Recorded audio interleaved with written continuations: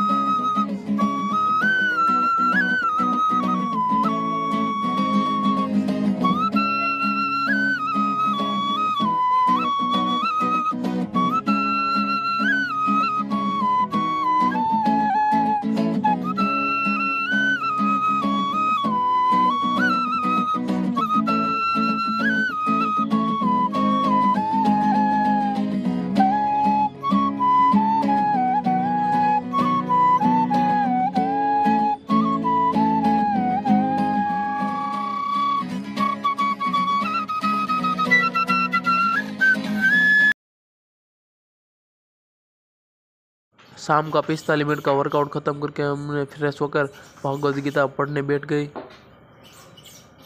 फिर पिया आधा लीटर पानी, आज की हमारी सेल्फी, आज का टास्क कंप्लीट